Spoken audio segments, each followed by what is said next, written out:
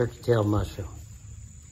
How to identify, grow, harvest, dry, store, grind, prepare, use, and eat this amazing, extremely healthy mushroom.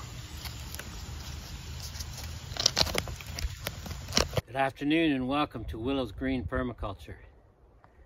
Today, I'd like to talk to you about turkey tail mushrooms. How you can actually grow them yourself, how you identify them, how you harvest them, how you dry them indoors without losing their properties, and how to prepare them as well, how you, how you can eat them and how you can prepare them for eating.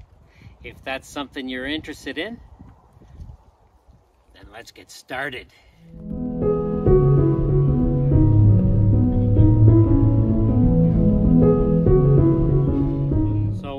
Sitting here in, in, in our fire pit and we've got some turkey tail right here.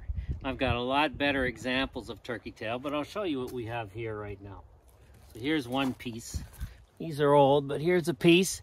You can see the all the colors there. It's like almost velvety almost like felt or something like that is how it feels. It's really nice. The back should be completely white, but these are old now, so they've they've they've gone they've gone to off-white to a beige color, but you can see their little round pores there. We got uh, we got a log right here with lots of turkey tail on it. Bunch of turkey tail right there. Can't hold this for too long. This is also old. It's not white underneath, but you can see all those colors on top. The First thing I wanted to talk to you about was how you can actually grow your own turkey tail. Turkey tail, as you can see, grows out of dead wood. Like these logs right here that we're using for chairs around our fire pit. They, they grow out of dead hardwoods, mostly. And so if you ever have to cut a dead tree down, of course you can use that for firewood, or if you're a carpenter and it's nice wood that you can use for carpentry, of course, that's great too. Or, of course, a lot of people will use uh, their dead wood to make, they make wood chips out of them. But another thing you can use your dead wood for, and this, and this is the best part about uh, permaculture. When you've got something available in your environment that you can use, you want to get multiple uses out of it. And you want to use it in place as much as possible. You want to move it as little as possible. Keep it in place as much as possible. You got logs here. Well, there's several uses that we can use with these logs all at once. The logs are going to contribute to soil building. That's why you don't necessarily want to remove them from where you got them from, from where the tree died. You want to leave them there. Now, if you got a garden close by, then you can put them by the garden, and those logs are not only going to contribute to the soil building around your garden, but they're going to provide habitat for frogs and toads and uh, solitary bees. So the frogs and the toads are going to help you in the garden, but they're going to help you control your bugs in the garden. And the solitary bees and other insects that are going to use them as an insect hotel, they're going to be your pollinators for you. Uh, so that's there's the one use. Now, of course, the other use you're going to get, well, here, for instance, where you know this is this is seating around a fire pit. So that's the second use. Third use here well, if they're hardwoods, then uh, you're going to get some different kinds of fungus growing on it. And here, well, we've got some turkey tail growing on it. And so there's one way you can grow your own turkey tail is by simply leaving logs lying around in different spots for different purposes. And whatever you're using those logs for eventually you'll you may get some turkey tail. So let's talk identification. How you how you identify your turkey tail is you've got on the top of it you've got multiple colors, multiple lines, concentric lines with colors on the very top. And then usually the, the last outer edge concentric, let's say circle around the, the, the outer edge of your turkey tail, it's gonna be white or just not as dark as everything else, maybe a beige. And then the very, very outer edge, it's not going to be even. It's gonna be like there are little cuts in the edge, little dents and wedges in the edge of your mushroom. It's not gonna be a smooth curve. And of course, the top is gonna feel velvety. It's gonna feel almost like it's got little tiny hairs or something, velvety or like felt or something like that. Very soft on the colorful part. Now underneath, if they're fresh anyways, it should be completely white. You may need glasses for this or a magnifying glass, but you should be able to see little tiny round circles on that white surface, and those are your pores. Because mushrooms, underneath it could look in many different ways. For example, you could have gills, you could have spongy type substance, and then you could have pores. And turkey tail has pores. If you got on the top, you got the concentric colors, the jagged edges, less color on the very outside here, but lots of intense different colors from the center right out to the outside. And then on the underside, you got it's all white and it's got little round pores. Then what you've got is turkey tail. The very uneven ridges along the edges. Very distinct colors along the top. Very velvety feel. And now let's have a look at the underneath. Pull one off. Oh, well, a little bit aged. Still smooth though, not so young.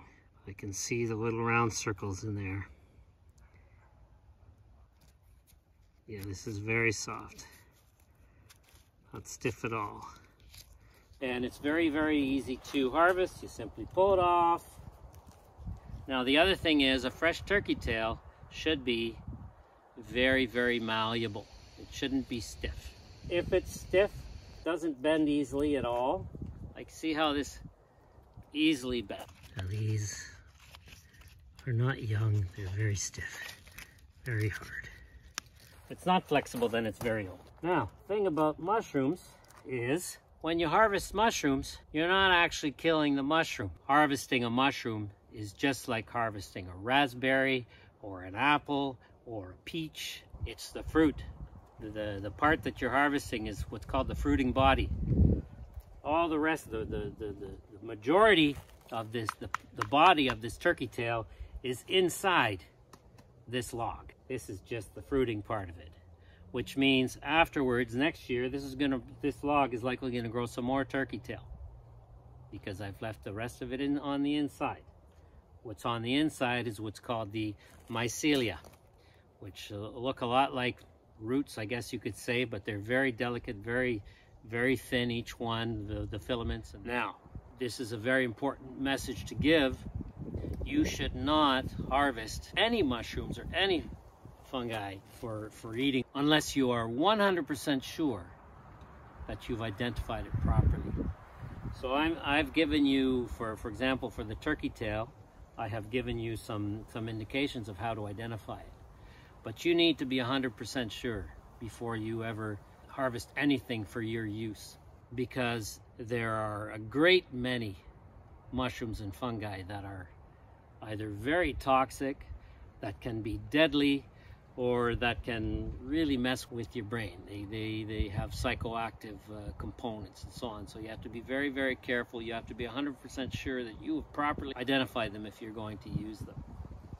Now, because turkey tails are so thin, they're very easy to air dry. The important thing about air drying is simply to have it in, a, in an area that is well ventilated. So here's something that we use for drying all of our herbs and, and other things like that. We simply put it on one of these levels. The air flows quite nicely through it. Any type of mesh will do.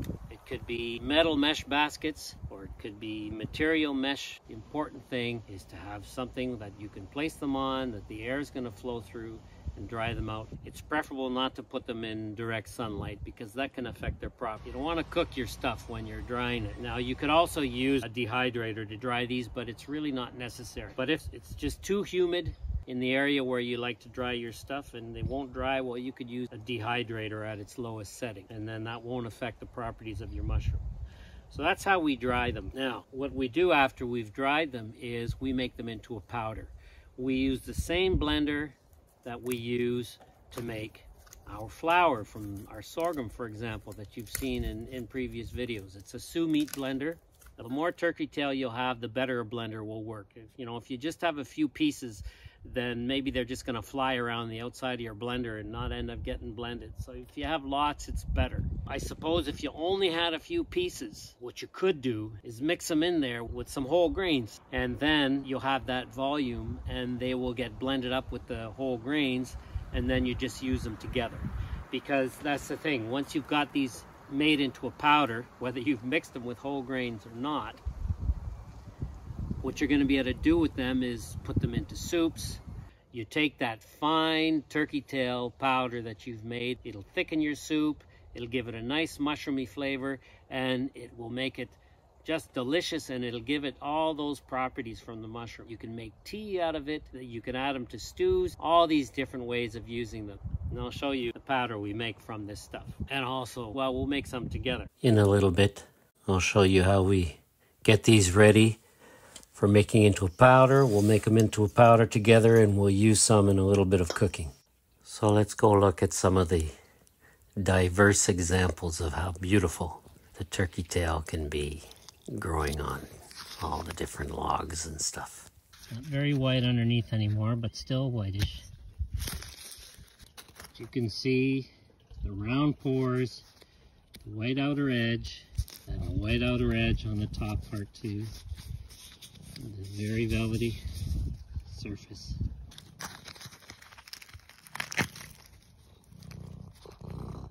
This is just some moss growing on this. Just showing you how rich and biodiverse ecosystem is.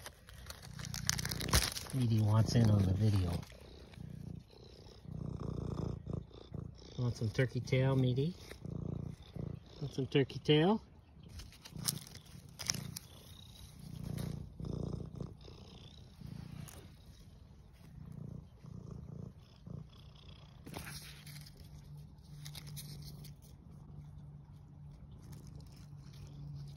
As the turkey tail gets older, the pores lose their roundness and become a little elongated.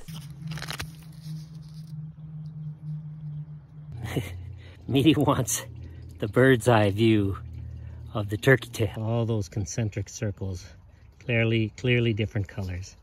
And then the outer edge, much lighter color and lots of indentations on that outer edge. Now, now these are really old, these ones. They used to be white, but these are probably at least a year old, these turkey tails.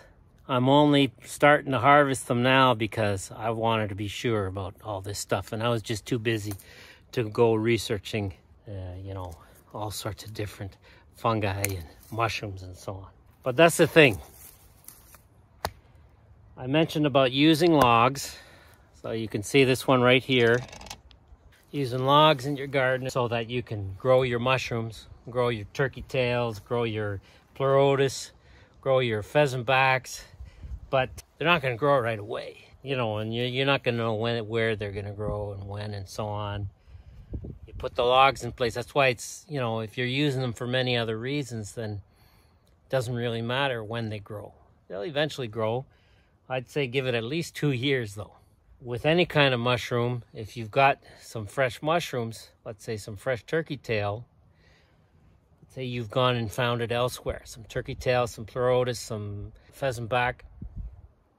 If you've got some and you've got some logs, then you can you can place those fresh mushrooms with the logs on them, let's say, somehow try and attach them so they don't fall off, so that the spores that are inside them will eventually inoculate, as, as, as they say, the wood for you.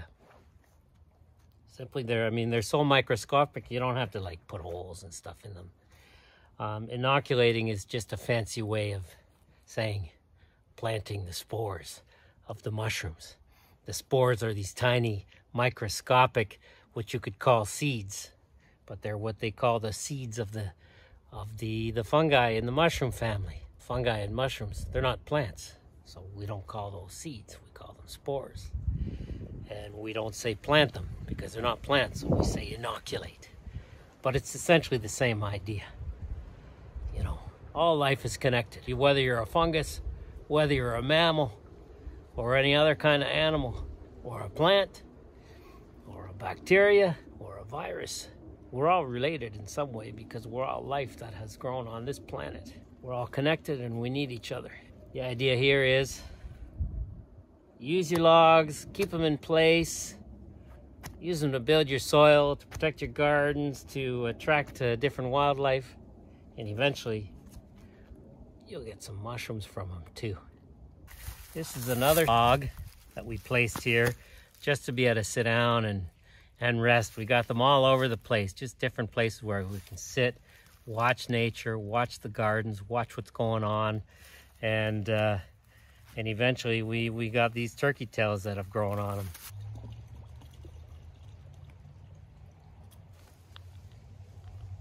Little fuzzy top.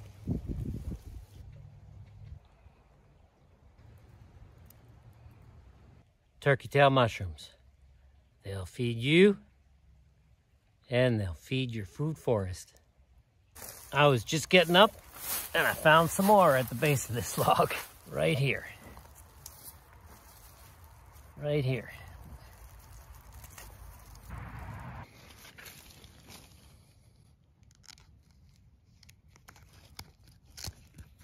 This piece has come off with some of the bark. You can see those little pores there, the little round pores. This is still white. It's not totally white. It's a little bit old. We're late in the season. But this is turkey tail. Very nice. If you'd like to see more video images of turkey tail harvests and all their colors and shapes, check out the end of the video during the music portion and you'll see a lot more. This piece here I just cut. Eh, it's a little wider. The stuff that I harvested in the summer that I'm going to show you in the kitchen that we dried up, it was all nice and fresh. Talking to you about permaculture earlier. This wood here is a whole bunch of Manitoba maple or box elders, another way of calling it. Logs we had laying down, we laid down here to hold all those wood chips in place. And that was when we were having major flood problems with this area. And so these logs helped us hold these wood chips in place so that the, when the when the, the floodwaters came along this side, our wood chips wouldn't float away. But in the meantime, we've solved that problem. You can see other videos about that. So initially, this wood served as helping to prevent erosion and control flooding. And now this wood is feeding us and giving us some nice medicinal mushrooms. So here, I was just showing you close-ups of these mushrooms on this little box elder log here. So these are some really nice turkey tail. We've got so much turkey tail all over the place because we like to use logs for all sorts of different purposes. Create habitat for frogs, toads, snakes, solitary bees, that are great pollinators and so many other different insects and pollinators. We also like to use logs to build the soil, to hold wood chips back, to hold the different mixes of compost in in our gardens and stuff. We surround our gardens with these logs to invite the frogs and toads into our gardens. We use the logs to build soil elsewhere, to help uh, prevent erosion, and to simply build the soil. And then an additional benefit to using these logs is they feed us. They give us turkey tail mushroom. Sometimes our logs also give us Pleurotus mushrooms and sometimes they give us pheasant back mushrooms. Can't wait to show you how we use these inside. Four years ago, this was a freshly cut log from a dead tree. Now, it is covered in turkey tail. We used these logs to surround our garden in order to give habitat for frogs and toads and also to, just because it looked good, frame our garden with it. And here's the added benefit. So here is the stash of turkey tail that I'm going to work with today to make a powder out of it. Use some really pretty pieces here. Now, as you can see, when I picked these, the underside was still very white. Can see the little round pores under there. On this piece, for example, this is a piece of bark. I'm gonna have to remove this when I process these mushrooms because I don't want us to be eating bark. I'm not sure that would be such a great idea. Now, what it would have been a better idea to remove that bark before bringing these in to dry, but I just loved how this looked.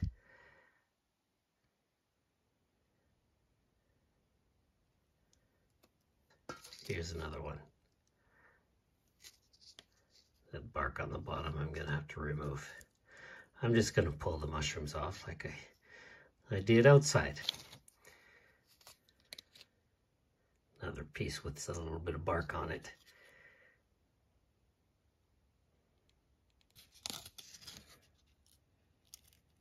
To me it looks a bit like coral.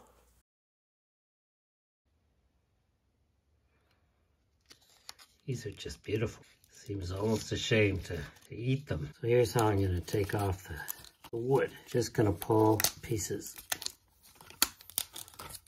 Just comes off. Just like outside. It's a little bit stiffer. It's a little bit harder.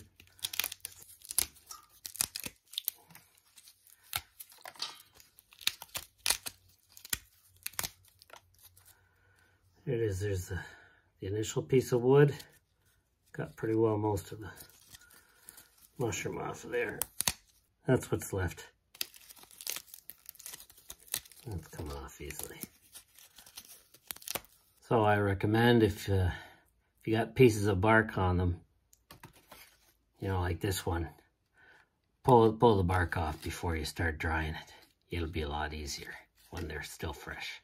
Now I'm just going to pull the rest of these apart, and the pieces should be small enough for the blender. Remove this one, save it.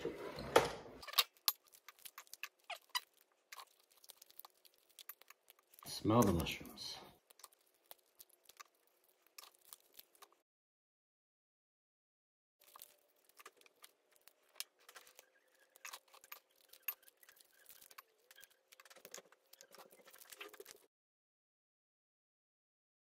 All these pieces that have a little bark on it. I'm just gonna put these back outside. So this is what I have so far in my blender. And I still have all this left. I suppose I could fit a lot more in here if I cut these up into smaller pieces. Just gonna stuff that in a little bit, put it on. Turn it on.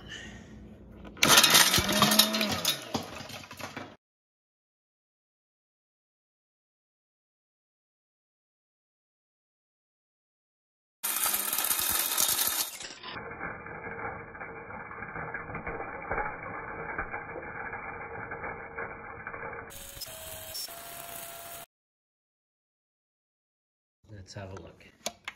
It's uh, warm, very, very warm. Here we go. I don't want to cook it, so see how hot that is. Yeah, it's warm. It's not hot though, it's not cooking. It's just warm. So this has been at about three minutes on high. And these have, this isn't quite a powder, but it's, they're very, very small pieces now. This is very hot. And so before putting this away in a, any kind of jar, you want to make sure that it cools completely because otherwise you'll have moisture. Very light and fluffy. Spread this around this bowl to let it cool down and I'm going to make some more. This was some that Maggie made last week and she told me she put it six minutes on high. This is a real powder. However, when she saw this and she saw that it was only three minutes, she said this is absolutely fine. And so now I'm gonna try two minutes on high to see how that comes out. So here's the second batch. Keep your hand on top and then turn it on to high for two minutes.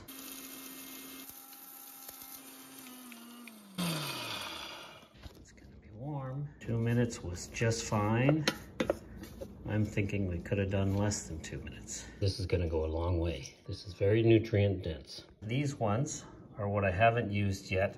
I'm gonna put them into a jar for making into a powder later.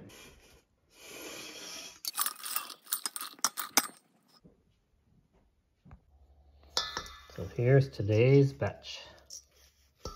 Nice and fluffy compared to the other batch, which is also nice and fluffy. So two minutes is enough, but next time I might even try one minute.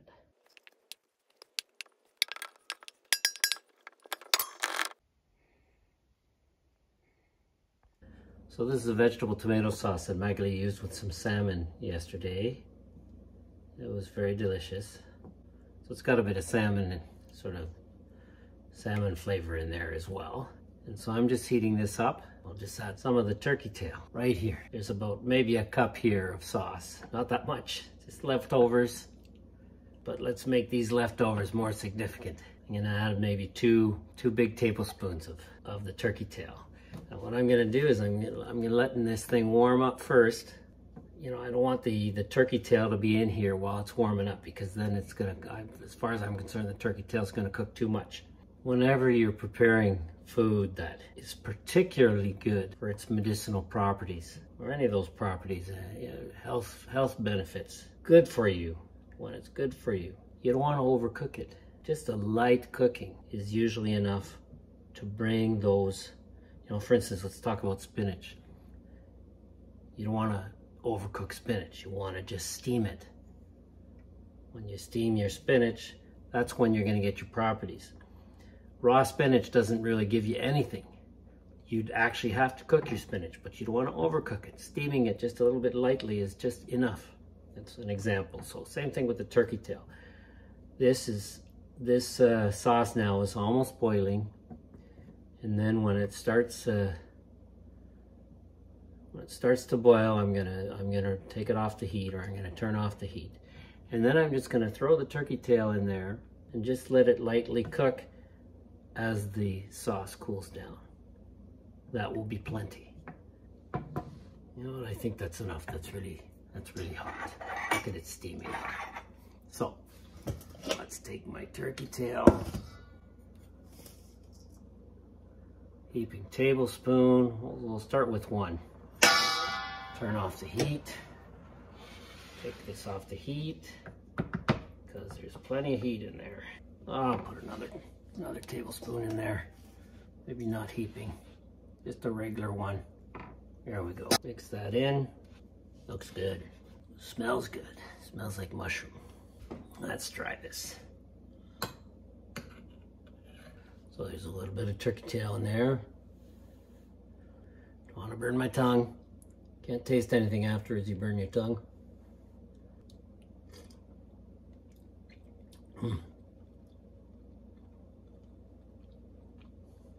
Very nice. Taste the mushroom. There's still the salmon flavor in there, but now it's salmon with mushroom. It's really good. I'm gonna put some more.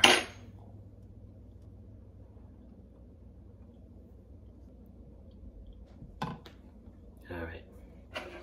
taste this. Now this was only in there for a few seconds. Now I can see it more.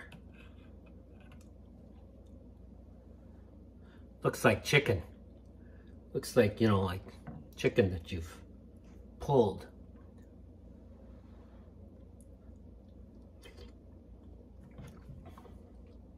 Very nice. Now, you can taste the mushroom, but the salmon has a really strong flavor. So if you want to just have the, just the, that mushroom flavor, then maybe, for instance, if this was just a straight tomato sauce, it probably would have been better because then I would have been able to taste that mushroom even more. Any kind of a liquid sauce that you're cooking. If the flavor is subtle, you'll taste the mushroom more. If the flavor is strong, then you'll taste the mushroom less. A recent meal we had Magali stir-fried some cabbage that she had thinly sliced and put some turkey tail in there. And you could really taste the mushroom. There you go. Turkey tail mushroom. Just leave your logs. lying around your garden. Surround your garden with them. Leave those logs for the frogs and the bees and all the other insects and for the soil. And eventually, if they're hardwood logs, you'll get turkey tail mushrooms too. You can also use this to make tea. This is a broccoli and cauliflower gratin. That means there's cheese melted over top of it. With a bechamel sauce made with cream, little bit of white flour, some tomato, and the turkey tail powder that I'd made today. The bechamel sauce is put over top of the broccoli and the cauliflower along with the cheese, and then it's all baked in the oven. So I hope you enjoyed the video. Hope you found it useful and you learned something from it. If you enjoyed the video, then please share with your friends. Don't forget to hit that like button, drop a comment, a question. I love to read your comments and uh, respond to your questions and also to your comments. It's a great way to build community and uh, you can also have discussions with each other on these comments. It's, uh, it's quite nice. I also learn a great deal from a lot of you in our comments, so it's really, really nice. And if and also, if you haven't done so yet, then please uh, subscribe. Support what we do here just by subscribing. Thank you very much for watching. Have a great week, and we will see you next time.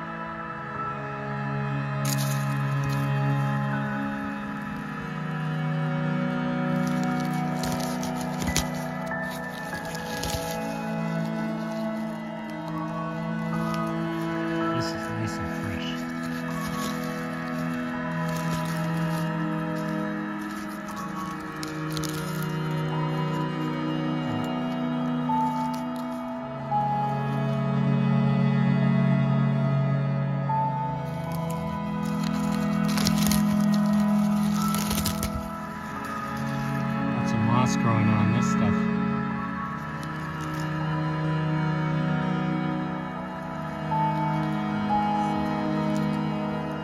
Connections between life.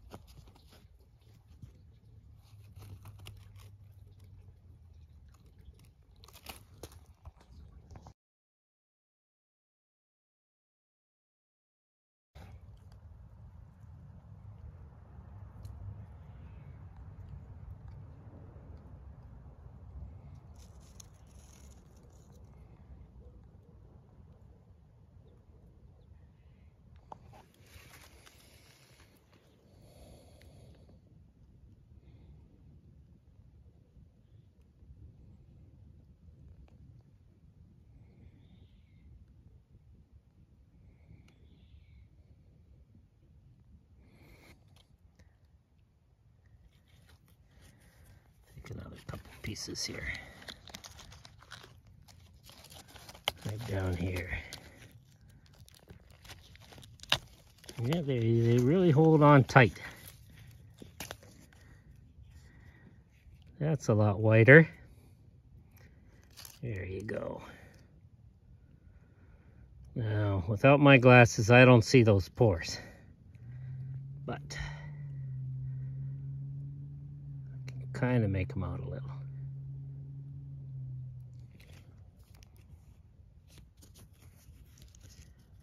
Get those beautiful colors.